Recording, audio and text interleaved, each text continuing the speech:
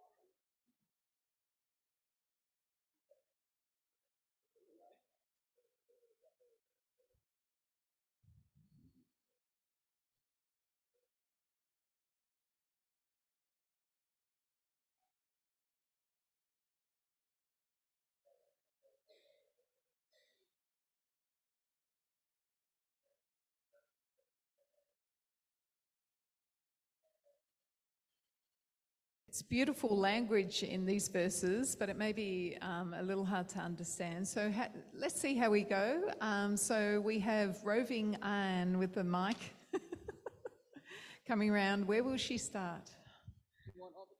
Yeah, yeah. Let's have one from each table again. Just, just one idea that that you got from this. Come on, Dorothy. You can do this. All right. Thank you. Yeah, it's good. Colossians chapter 1, verse 15 to 20. How does Jesus' supremacy impact us on the potential for work? The very first thing that says that is Jesus is supreme over all. He is before all things created. He then goes into speak of the rulers and authorities of the earth and remind us that Jesus created them all and they all ultimately answer to him. He is what hold all things together. He is the sustainer of all creation. I used to, as I discussed with my mates here, uh, Mrs. Jacob and Mrs. Young, it's not easy, especially when you are in the workplace and there's the superior who thinks you should be shut up. They should be the one talking and not you. But over the uh, last two years, when we had so many Zoom lessons on the Bible study, I was asked to lead. And suddenly and amazingly, I learned that the Word of God stands. And it says here, God is the holding supremacy of all. When we speak and we know the Word of God, you are standing on the Word of God. You stand for Jesus. You have the wisdom of God. You not only have the knowledge, but now the knowledge is translated into you to stand up and say what is rightfully correct.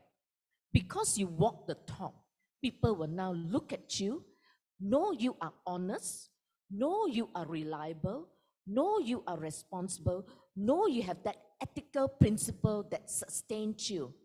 They see you as somebody who really work the action. So they will listen to you. And that is wisdom from above. So you will be able to create an impact that will affect others because you are now doing the groundwork. You are now work hands on. The hands on is very important because you give credit to the others. And when they see you work together, uh, do not shout at them. It creates an atmosphere in which you are providing an atmosphere of reconciliation. So they are able to listen and the work is being done. So therefore, this particular lesson help us to realize that what we do does affect others. What we say does affect their mood.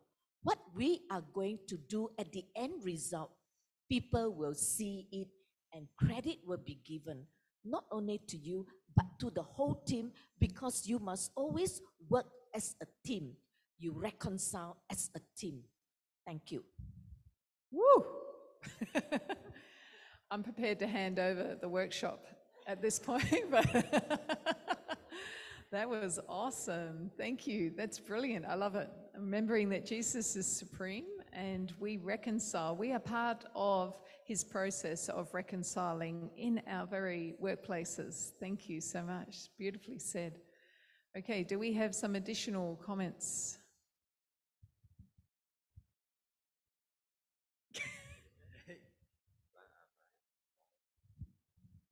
Okay. Thank you, Brother Ho. There's the Christ become the center of our life. We often said Christ center life. Actually, we may not really obey him all the time. So there's a danger. So I'm not afraid now when he say Christ now is the head. He is my Lord. Not only my Lord, he is the Lord of all my bosses, my government authority, my prime minister. So I'm not afraid of them. Just, so let me think of even Daniel and his friend. They're not afraid of King Nebuchadnezzar, Darius. If you don't bow down to this statue, you'll be thrown into lion den. They're not afraid. God will rescue because Jesus is above all them. Who is the king? King of kings is Jesus, not the earthly one. So that make us very bold that we will not do our work in violation with God's word. I obey Jesus above all my bosses. Provided they don't violate God's word, I will obey them, submit to their authority. Amen. Thank you very much. Beautiful reminder that Jesus is the boss above all bosses. we need to be reminded sometimes of that. Hmm. Okay, who is Anne going to choose next?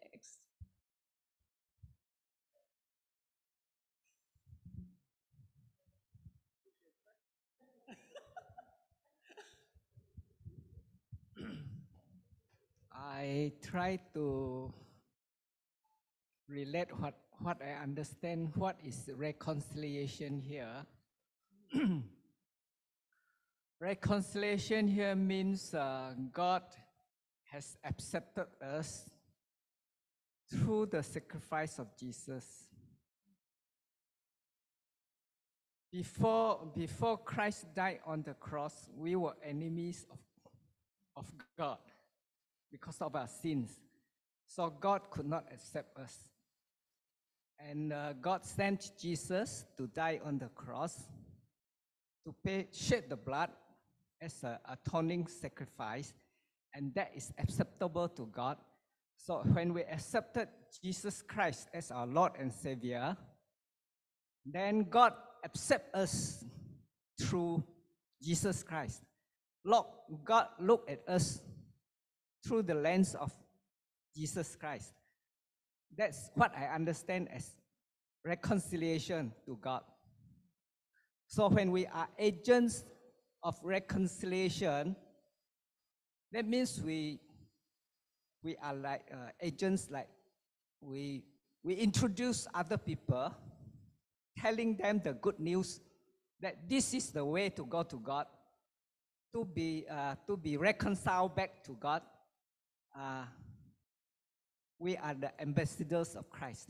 We, we, we tell other people about this good news that we can be reconciled back to God by accepting Jesus because God will look at us through the lens of Jesus Christ. Uh, that's all I want to share. That's beautiful. you. Thank you. So, as agents of reconciliation, we're letting people know what we ourselves have experienced of reconciliation with God through Jesus' blood. Yeah. That's cool. Okay, next table. Elizabeth, did you want to say something?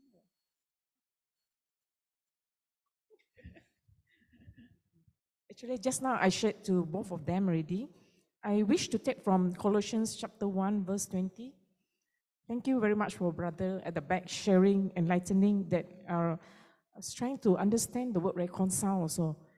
God was pleased to have all his fullness dwell in him and through him to reconcile to himself all things, whether things on earth or things in heaven, by making peace.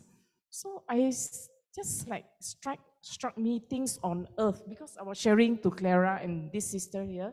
Because uh, I can only speak from my context of office because uh, other part of my life I'm not very uh, very uh, very experienced. My experiential knowledge is within my place of work. Because many times my uh, colleagues, uh, employ employee, either they quarrel, so they will send email and say, "Oh, you you you are not grateful. Uh, don't forget, I was the one who recruited you." So what do we do if you are Christian in the office? Do you aggravate the situation and gossip with other staff and add more to it, or do are you a peacemaker? So, you know, in the KPI index, key performance index, they don't use the word reconciler or they don't use the word peacemaker. They use the word harmonizer, you know, like you try to minimize conflicts. So I, I really believe that whether things on earth or things in heaven, by making peace, you know, through the blood of Jesus Christ. So we as Christians, we should try to minimize, reduce conflicts in the office. So I think that's my uh, best understanding of you know, uh, you know, uh, bringing reconciliation in the workplace. Yeah, the word the word uses harmonizer. Yeah, sometimes Christian uses the word peacemaker. Thank you very much. Thank you. And Jesus said, didn't he, in the Sermon of the Mount, blessed are the peacemakers. Yeah, thank you. okay, who's going to be on this table? Who's going to speak? Awesome. Um, I believe this Colossian talking about Jesus Christ. Through Jesus Christ, we are reconciled to God uh, through His death. But here, your question is, what does it mean for us to be agent of reconciliation? Is it related? Talk, talk- uh, your question is related to work. I mean, is this question related to work? Yes. Okay, meaning if we are the, to be the agent of reconciliation in work, meaning we will share Christ with our colleagues or with our bosses or this thing, all right? Does it. You mean, mean, mean by this? Well, In I'll be going on about that a bit later, but yes, that's part of it. Yes. Does it mean for us to be agent? So that would be great. that would be great. You know, you get me? If you know, we can use our workplace to share gospel, share Christ with our colleagues in our workplace. I mean, to me, that would be very meaningful. Okay, marketplace. This is a marketplace, right? All right? This is a witnessing in a marketplace. Yeah. Okay. So the marketplace can be a place where we can be, yeah. bring can that message. witness, yes. Absolutely. Okay, cool.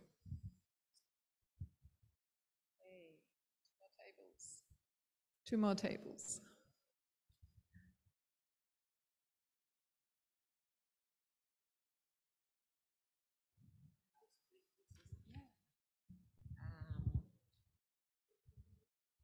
Well, Colossians chapter 1, the reference given to us is pointing out the fact that Jesus is? Jesus, yeah, Jesus, uh, the passage given to us talk about the fact that Jesus is the firstborn, that through him all things were created in heaven, on earth, visible, principality, authorities. And everything was created through him and for him, and that he is preeminent, our LC is the fullness of God. I think with that passage in mind, and with the questions given to us, what is affected? I want to answer that part. And knowing the fact, ah, as stated in Colossians chapter 1, 15 to 20, what is being affected? To me, it will affect our, in our workplace, it should affect, it should influence our relationship with our colleagues. It should change our working attitudes. And uh, those things we have repeated so many times. So I'm not going to elaborate on that. the, our relationship with colleagues. But essentially, it's like some of us have shared, we should try to be the peacemaker. Uh, don't, uh, don't be so calculative about how much work we have worked, that our work is not being appreciated. Do everything heartily, do it for the Lord. It's beautiful. Thank you. So a lot of focus on our relationships at work we're hearing. Okay. Thank you. Okay. Our sisters have shared reg- regarding the reconciliation. Yes, when we are reconciled with God, yes, we are agent of God. Okay. So in the workplace, like our sister, both our sisters also shared, I agree that we can be the peacemaker in the in the workplace. Meaning to say, we are not supposed to um, join into the gossip of what's going on or the politics in the office we must see on a higher level as God, as much as what we know, understand how God want to see the work. And, and we take it from there. We do not uh, like uh, lord over other people too, other colleague and so on, but we stay focused on, on our God, on God and Jesus, and we go through what He has taught us and apply to our workplace. Yeah. If the uh, uh, people or if the, our colleague do not subscribe to this, we just um, need to show this attitude of Christ, Christ's attitude, and from there, most of them, I suppose, uh, or some of them will see the result or see the the true nature of God in us and we will be seen as not the same as others, who may easily participate in the in the politics, in the gossip, and so on. Yeah, that's my understanding. Thank you. Thank you very much. Some beautiful thoughts there, some lovely ideas. Um, Jesus came to reconcile all things. And what we see here is a reconciliation that is on at least three different levels. Um, he's reconciling uh, us and God, which is the primary um, responsibility. But also, there's a there's the possibility of reconciliation between person and person with each other. That was broken at the fall as well. Remember, the relationships were broken, and there's a reconciliation also uh, between us and creation as well. So Jesus is supreme over everything, and he's bringing reconciliation to all things. I think it's really significant. I mean, Ingrid mentioned it at the end of the last one about God being over all things and us rem- remembering that. And here we've had it stated so clearly Jesus is supreme over the place that you work, Jesus is supreme over this location. Jesus is supreme over our community, our nation. He is supreme over all the rulers and authorities that we see. Sometimes it doesn't feel like that. There is a um, there is a thing about this being now and not yet. Jesus is supreme, but he is not making his rule necessarily known over all those things right now. But he will come back and he will make his rule absolutely clear. But he has been given supremacy over all things because of what he's done. And it is good to remember that in those times where we feel pushed down, where we feel, particularly in the different workplaces where we are, we feel that we don't have much power or choice. To remember that Jesus is supreme gives us great encouragement. And later in Colossians, in Colossians 3 um, 23 to 24, Paul says to people, work as if you're working for God, not for human masters. He's talking to slaves there. He's talking to people who have almost no choice over what happens in their workplace. And he says, work as if you're working for God. And I think that's one of the direct things that we can get out of this. The concept of being agents of reconciliation, Paul talks about in 2 Corinthians 5. He calls us agents of reconciliation and ambassadors for Christ. And I think those are really great images that we can take in the workplace we can see how we can be agents of this reconciliation. We can think about ourselves as ambassadors for Christ in the workplace. Do we represent Jesus well in the places where we operate, where we do our work? I think there's a huge amount of potential.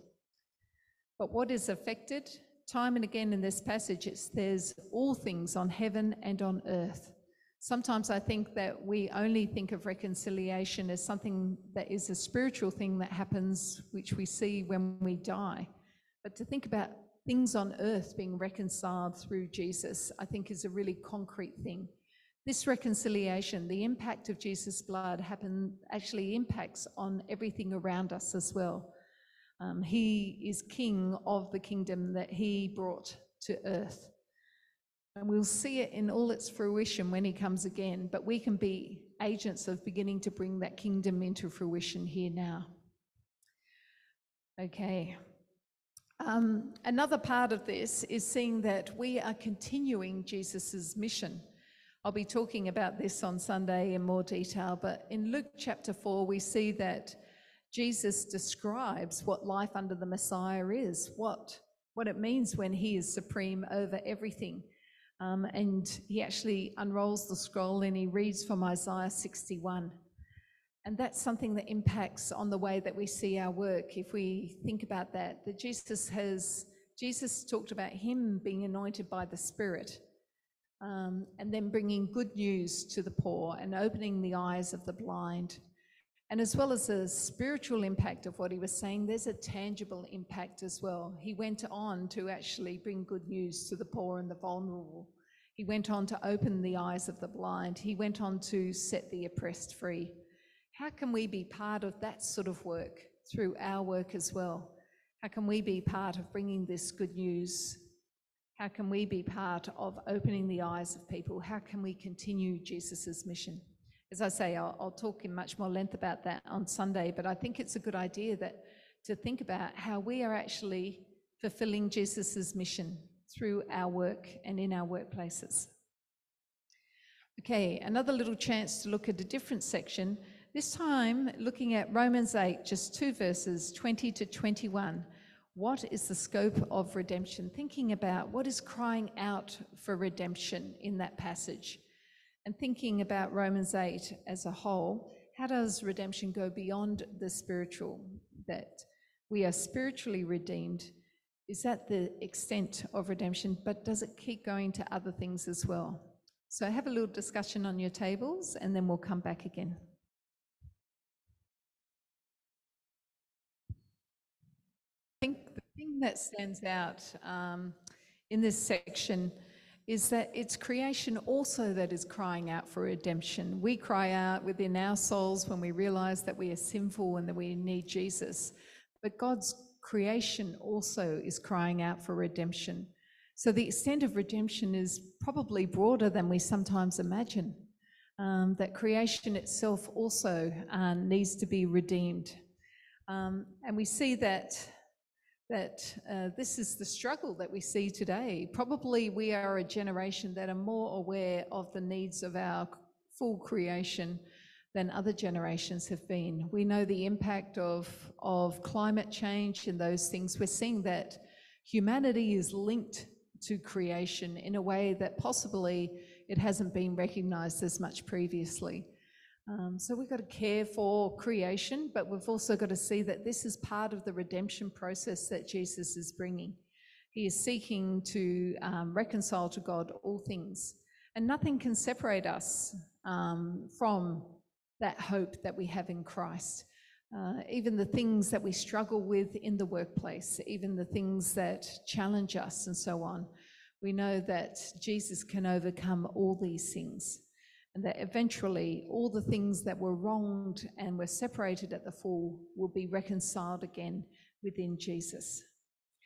These are big ideas, they're big thoughts, um, but this is a summary of what we uh, read in these verses. We know that Jesus came to reconcile all things, all things on hev- in heaven and on earth.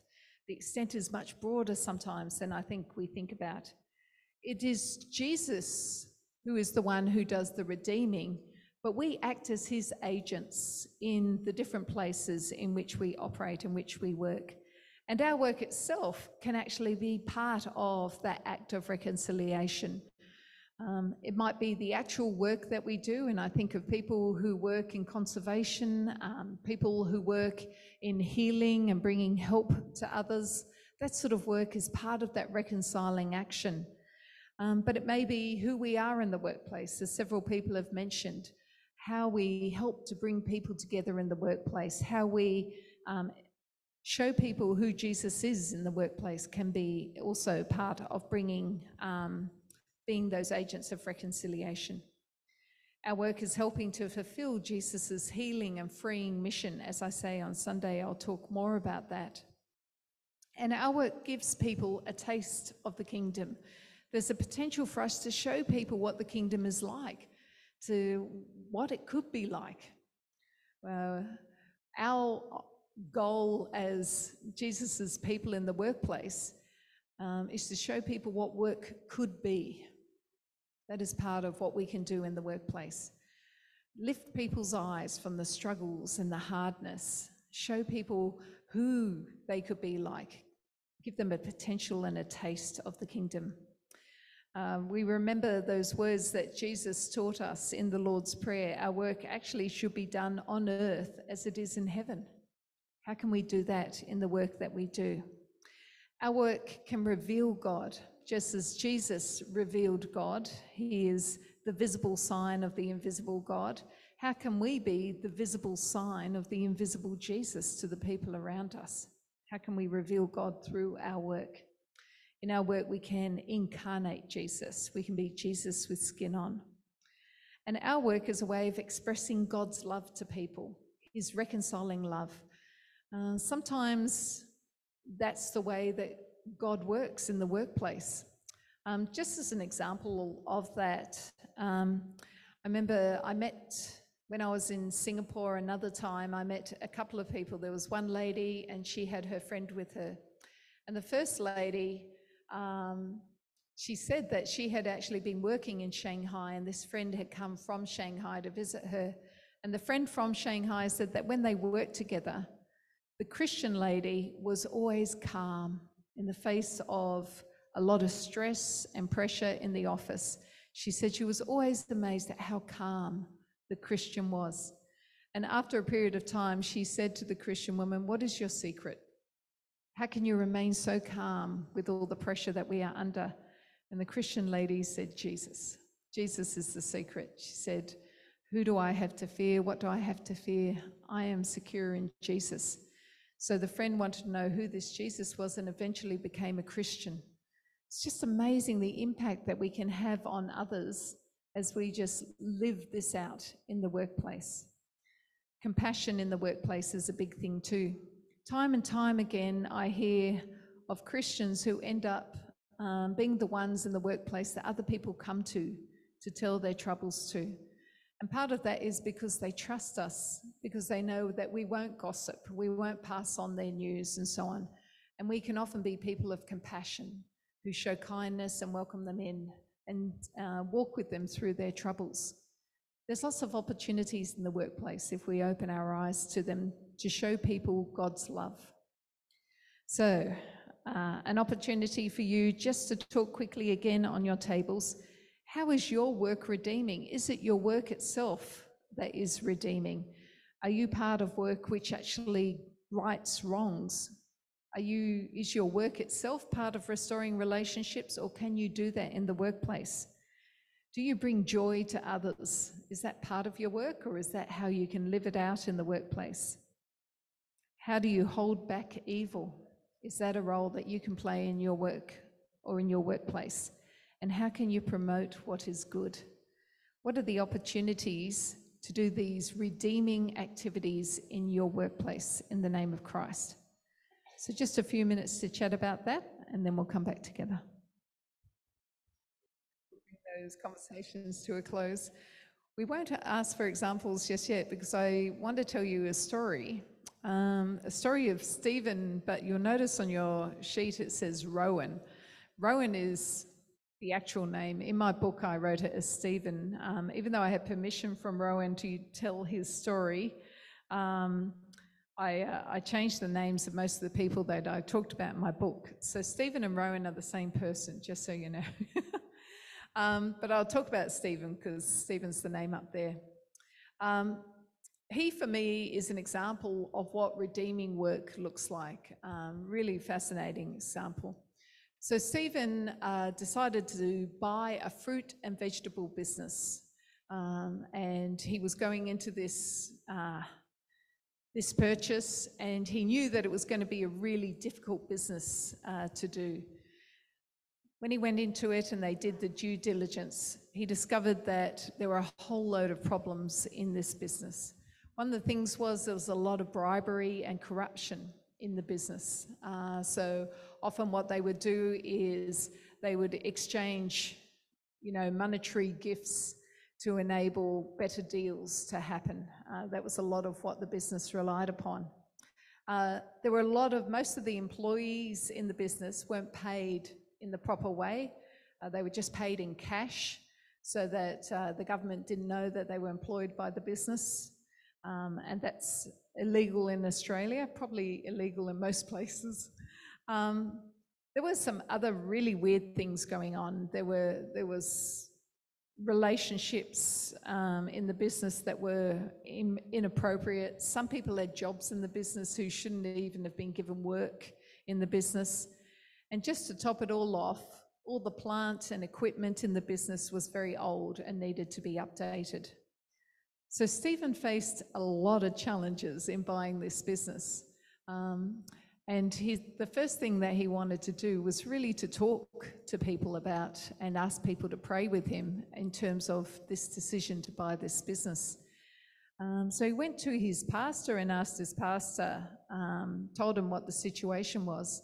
And his pastor said, uh, probably you shouldn't buy that business, Stephen. Um, he said, and Stephen sort of thought, well, okay, that's one response, but I'm not really comfortable about that. He uh, decided to see if he would go to another church, and he came to another church, which was the church I was going to at the time. He told the pastor that he faced the challenges in this business, and uh, that pastor said, Take me to that business. I'll walk through it with you, and we will pray over the business. Stephen was greatly impacted by that. He was really um, encouraged by that.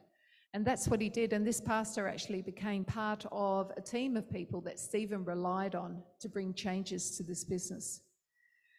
Stephen knew there were so many challenges and he, he couldn't do them all at once, even though um, he would have liked to make all the changes at once. that was a very cute sneeze, bless you. um, he knew that he would have to do it one by one because if he did all the changes at once, the business would probably collapse. So the first thing he did was make sure that every employee was paid properly. So all the people went on the books, as, as we say in Australia. In other words, no more cash payments. Some employees didn't like that because they would then have to pay tax. And so some of them left, but the others um, when it was explained to them the benefits of having annual leave and having sick pay and having superannuation, um, they agreed to, to go on to the new system. So that was the first step. He also dealt with some of the people there who shouldn't have been there. Some of them were actually, there was relationships between different people who worked in the company and people were given jobs just so they could maintain the relationship. So he dealt with those issues as well pretty quickly. In terms of the bribery, uh, that was a harder one for him to deal with because that's the way the whole fruit and vegetable industry ran at that time in terms of the markets. Um, so it was harder for him to actually deal with that. But what he decided to do was give them, uh, everybody, six months' notice. And he said to them, I will no longer pay bribes in six months' time. And in the meantime, I want to work with you um, so that we can work together and we can bring about good business for both of us. So we develop relationships with all the people who previously have been paid bribes to. Um, and he said, I want us to work in relationship with each other. I don't want it to be reliant on how much I pay you. At the six month mark, he kept his promise and he said, Right, we're going on to um, absolutely transparent relationship now, no cash kickbacks or anything like that. He introduced that system, and by then he had the sort of relationship where he was able to move into that system. In the end, after um, a couple of years of really hard work, the business thrived, absolutely thrived. Employees were happy there. There had been a lot of turnover of employees previously. They tended to stay with the company because they were well paid. And what happened without Stephen actually planning for it is that it began to impact on the whole industry. Because they saw that Stephen's business was thriving, the employees in other businesses said, Hey, I want you to put me on the books so I get superannuation now, I get a pension. um, the people, they saw the way that um, Stephen conducted business in the markets, and they said, uh, Stephen's way is a better way to, to actually do business. I know that it really did have change. It wasn't just something I heard from Stephen, because when I was in Melbourne, I talked to people who worked in the markets in Melbourne, and they knew about Stephen. And they said that the changes he had made in Sydney were beginning to impact on Melbourne as well. So, almost without planning to, Stephen's way of approaching business in this one business actually impacted on the whole industry.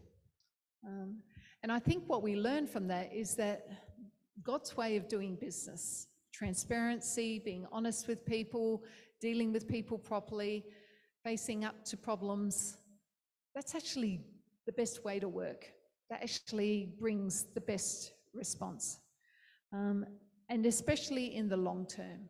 In the short term, you might have some gains, but in the long term, this way of doing business is the better way to do business.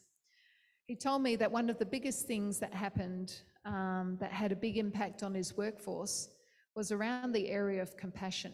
So, what happened was one of his employees was diagnosed with cancer. Um, and Stephen said, We will take care of you in terms of the business. He said, We will keep employing you and we will look after you until you're back to health. And what impacted on the employees was that they knew that under the previous system, that person would have been left out on their own. It had a really profound impact on everyone else, that compassion that Stephen showed to that employee.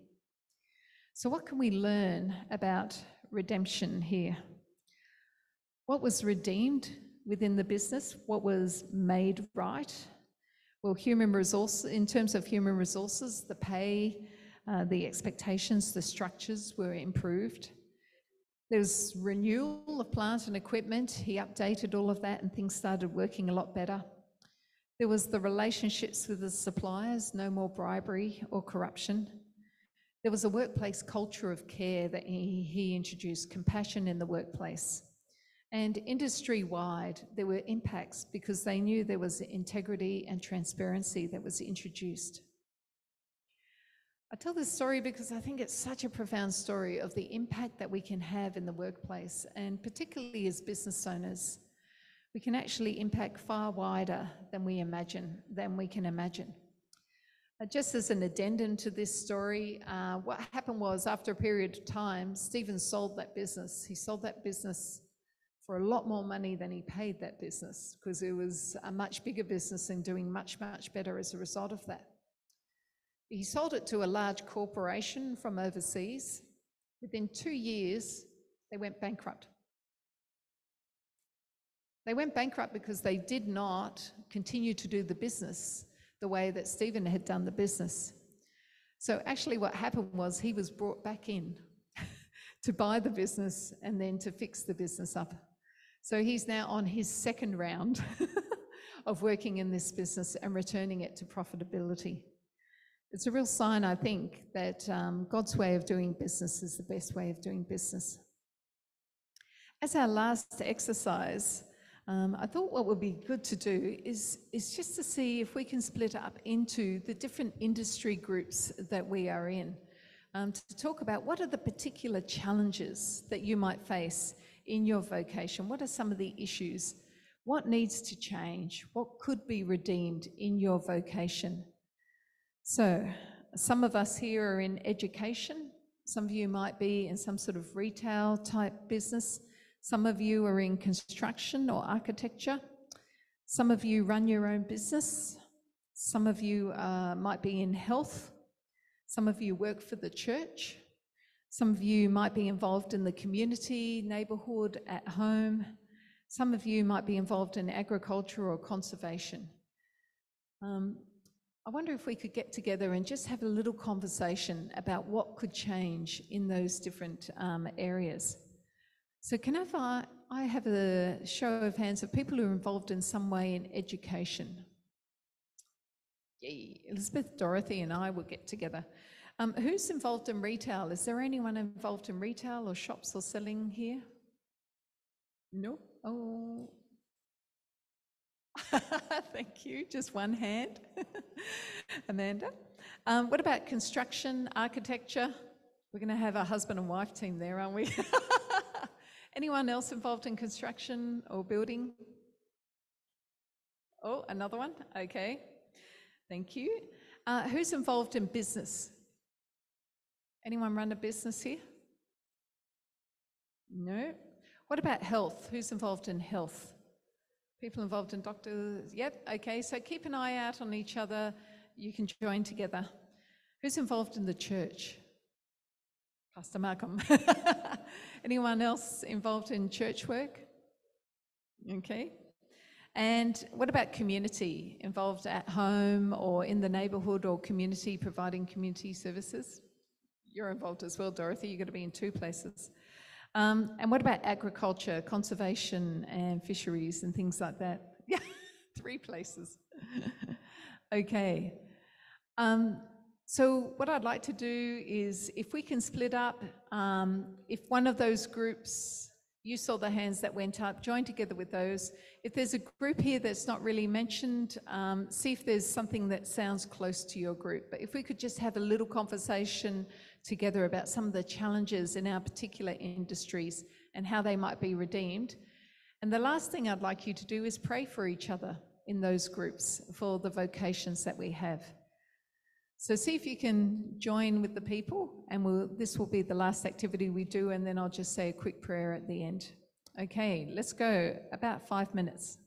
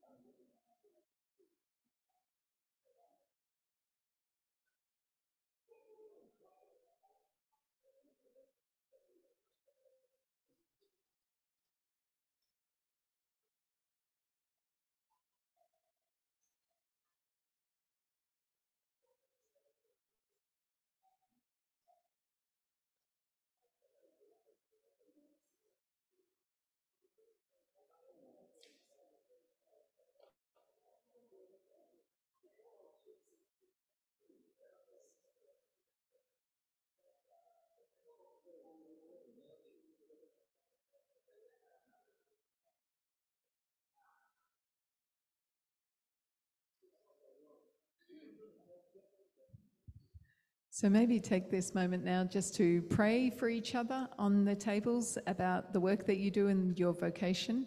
Um, and then I'll do a closing prayer in a couple of minutes. So please go ahead and pray.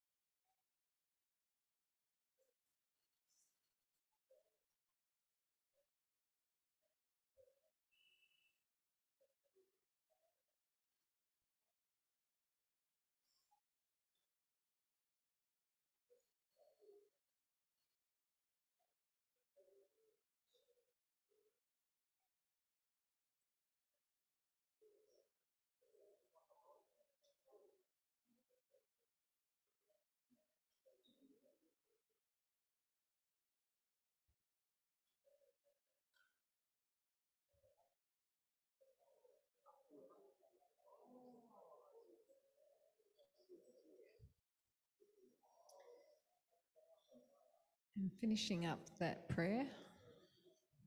Hmm.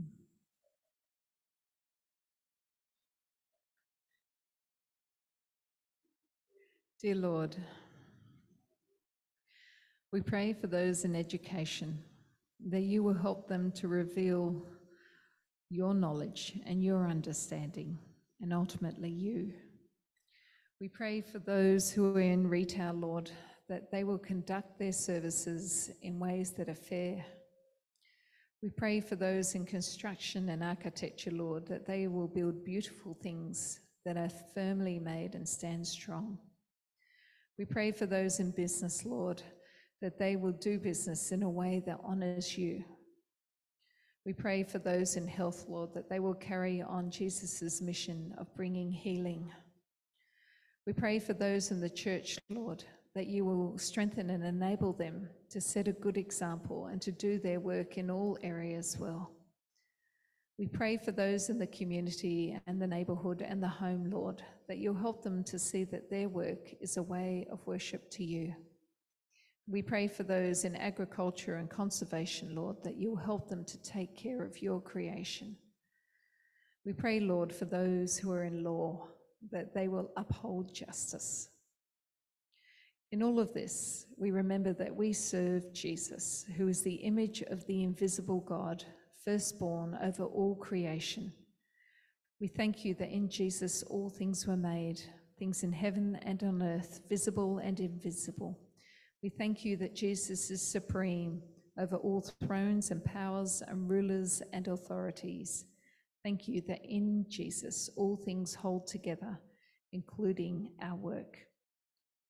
We ask, Lord, that you would enable us more and more to act with compassion and to show Jesus in what we do, and that in this way we might honour you and serve others. Amen. Thank you, everyone. There is just one workshop to go that will be um, tonight. And tonight, I'll aim to give you some really practical ideas about what you can do in the workplace and how you can go on living out this theology in all the work that you do. Thank you.